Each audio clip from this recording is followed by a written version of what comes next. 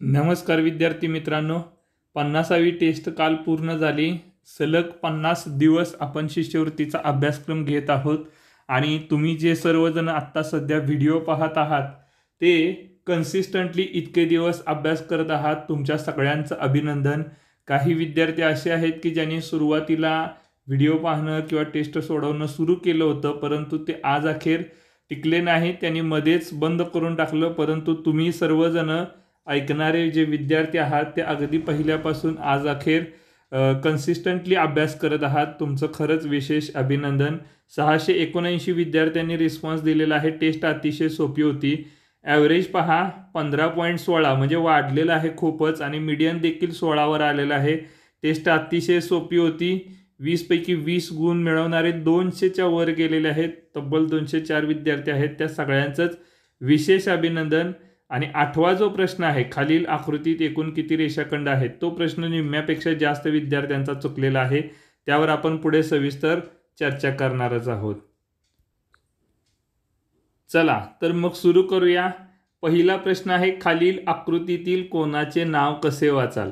खाली एक आकृती दिलेली आहे नेहमी लक्षात ठेवा कोणाचं नाव वाचत असताना जो कोणाचा आरंभ बिंदू किंवा शिरोबिंदू असतो तो तो ते अक्षरमध्ये आलं पाहिजे. म्हणजे समजा कोणाचं नाव वाचत आहे तर मी कोण पी क्यू आर म्हणजे क्यूला मध्ये घेणार आहे मी. किंवा उलटं वाचलं तरी चालेल कोण आर क्यू पी अशा पद्धतीनं वाचलं तरी चालेल पण क्यू हे अक्षरमध्ये आलं पाहिजे ही एक काळजी घ्यायची. नसेल तर एक अक्षरी नाव वाचताना देखील फक्त कोण क्यू असे वाचलं तरी सुद्धा चालेल. मग दिलेल्या चार पर्यायापैकी फक्त दुसरा पर्याय असा आहे की ज्याच्यामध्ये क्यू हा मध्ये आलेला आहे त्यामुळे पर्याय क्रमांक दोन. कोण पी क्यू आर किंवा कोण R P R Q P असे वाचले तरीसुद्धा चालू शकेल. दुसरा प्रश्न पहा चाळीस अंश मापाच्या कोणाचा प्रकार कोणता? तर आपण यावर आपल्या व्हिडिओमध्ये सविस्तर यापूर्वी चर्चा केलेली आहे.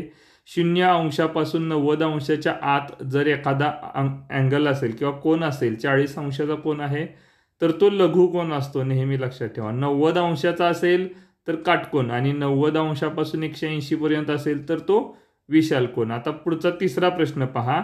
दीडशे अंश आहे म्हणजे तो नव्वदपेक्षा जास्त आणि एकशे ऐंशीपेक्षा लहान आहे म्हणून हा विशाल कोण विशाल विशाल म्हणजे मोठा.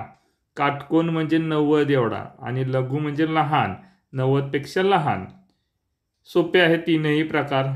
चौथा प्रश्न आहे खालील आकृतीचे नाव काय? खूपच सोपा प्रश्न आहे. जर दिलेल्या आकृतीला एका बाजूला बाण आहे आणि एका बाजूला तो मर्यादित असेल तर त्याला आपण किरण असे म्हणतो. पाचवा प्रश्न घड्याळात तीन वाजले आहेत. घड्याळातील तास व मिनिट काटा यांच्यामध्ये किती अंशाचा कोण होईल तर जेव्हा घड्याळामध्ये तीन वाजलेले असतात तेव्हा पोझिशन काय असणार आहे? बारा एक दोन आणि तीन. म्हणजे जो तास काटा आहे तो बरोबर तीनवर असणार आहे आणि मिनिट काटा आहे तो अगदी बारावर असणार आहे. मग तास काटा आणि मिनिट काटा यांच्यातील हा जो कोण आहे तो अगदी जमीन आणि भिंत यांच्यासारखा हा कोण आहे म्हणजेच तो नव्वद अंशाचा असतो. आणि नव्वद अंशाचा जो कोण असतो त्यालाच आपण काटकोन असंही म्हणतो. म्हणजे उत्तर येणार आहे पर्याय क्रमांक एक. आता तसाच प्रश्न सहावा दिलेला आहे. तर इथं आपण काय केलं पाहिजे? घड्याळात पाच वाजले आहेत.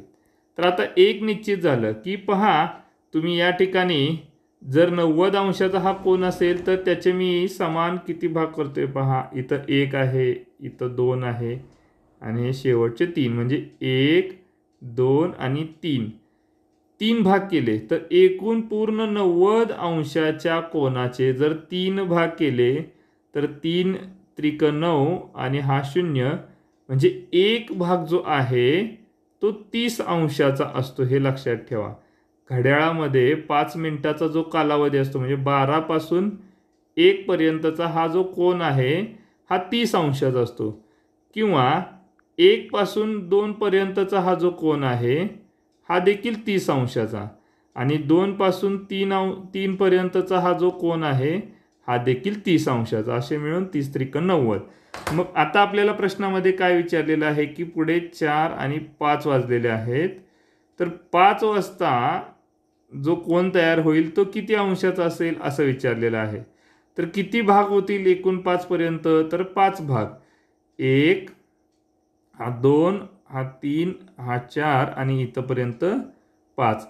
एकूण तीस तीस अंशाचे पाच भाग एकत्र करावे लागतील तेव्हा पाच वाजतील म्हणजेच तीस गुणिले पाच किती येईल पहा? पाच त्रिक पंधरा आणि तो शेवटचा एक शून्य म्हणजे दीडशे. आता नेहमी लक्षात ठेवा घड्याळामध्ये पाच मिनिटाचा जो भाग आहे किंवा अंतर आहे ते तीस अंशाचं असतं.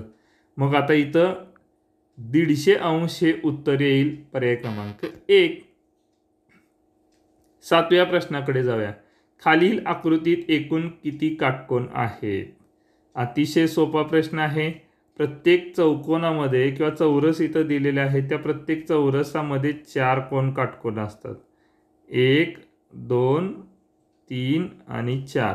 असे एकूण चार चौरस एकमेकांना जोडून दिलेले आहेत. त्यामुळे जर आपण विचार केला तर एक दोन तीन चार. पुन्हा तिसऱ्यामध्ये एक दोन तीन चार आणि शेवटच्यामध्ये पुन्हा चार काटकोण आहेत. म्हणजे प्रत्येकाचे चार चार असे चार जणांचे मिळून चार गुणिले चार सोळा काटकोण असणार आहेत. पर्याय क्रमांक तीन. आठवा प्रश्न पहा. खूप विद्यार्थ्यांचा चुकलेला आहे. कारण काही बऱ्याच विद्यार्थ्यांनी काय केलेलं आहे की जो रेषाखंड दिला आहे ना त्या रेषाखंडामध्ये एकूण किती लहान तुकडे दिसत आहेत एक दोन तीन चार पाच सहा सात हा आठवा तुकडा हा नववा आणि हा दहावा. एकूण दहा लहान तुकडे दिसत आहेत म्हटल्यावर बऱ्याच जणांनी लिहिलं उत्तर दहा. परंतु असा एक विचार करून पाहूया की जसे लहान लहान दहा रेषाखंड आहेत तसे काही मोठे रेषाखंड आहेत. म्हणजे मी दोघा दोघांचा मिळून एक रेषाखंड करू शकतो. पहा. एक हा दोन इथून इथंपर्यंत तीन. इथून इथंपर्यंत चार. पाच. सहा. सात. आठ. आणि हा नऊ. म्हणजे दोघा दोघांचे मिळून नऊ तयार झाले. आता तिघा तिघांचे मिळून घेतले तर म्हणजे समजा इथून इथंपर्यंत हा एक दोन तीन. अशा पद्धतीने जर आपण मोजत गेलो इथून इथंपर्यंत तीन इथून इथंपर्यंत चार पाच सहा सात आणि आठ. काय जाणवतंय रे तुम्हाला? इथे एक उतरता क्रम तयार झालाय. दहा नऊ आठ अशा पद्धतीने सगळ्यात शेवटी येणार एक. सगळ्यात मोठा जो आहे ना एक. तो येणार सगळ्यात मोठा शेवटी. म्हणजेच एक क्लुप्ती तुम्हाला या ठिकाणी लक्षात आली असेल. दहा नऊ आठ सात म्हणजे प्रत्येक अंकांची दहापर्यंतची बेरीज म्हणजेच एक ते दहापर्यंतची बेरीज आणि एक ते दहापर्यंतची बेरीज म्हणजेच त्रिकोणी संख्या. आता त्रिकोणी संख्या काढण्याचं सूत्र आपल्याला माहिती आहे. शेवटची संख्या आहे दहा त्याच्या पुढची संख्या अकरा भागिले दोन. तर इथं बे के बे बे पंचे दहा आणि अकरा गुणिले पाच केलं तर पंचावन्न. म्हणजे एकपासून ते दहापर्यंतची बेरीज करत बसण्याची पण गरज नाही. तर त्यासाठी पण एक शॉर्टकट आहे त्रिकोणी संख्या आणि त्यानुसार आपण डायरेक्टली उत्तर काढलेलं आहे पंचावन्न पर्याय क्रमांक चार. आता नववा प्रश्न पहा. खालील आकृतीतील कोणांची संख्या किती? हा प्रश्न देखील त्याच पद्धतीचा आहे. एकूण तुम्ही काय करायचे आहेत? लहान कोण मोजायचे? एक आणि दोन. तर लहान कोण दोन आहेत ना तर दोन पाया घेऊन त्रिकोणी संख्या काढायची. कारण दोन आणि हा एक असे मिळून झाले तीन. कसे तीन होतील तर हे लहान लहान दोन आणि हा एक मोठा तीन.